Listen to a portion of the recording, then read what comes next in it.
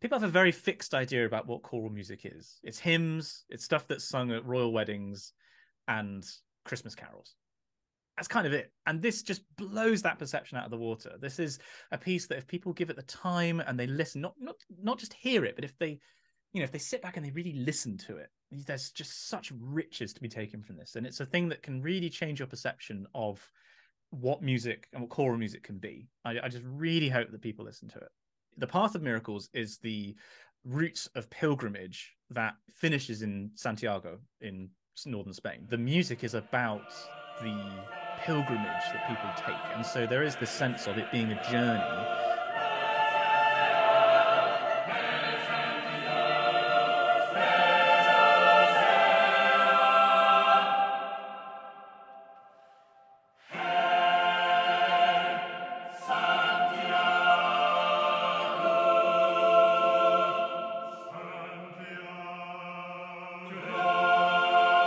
Hearing the very, very conclusion of this piece is such a profound sort of you know skin crawling uh, goosebumps kind of moment of you don't want the music to end and yet you know that if it ended at that moment it would be perfect.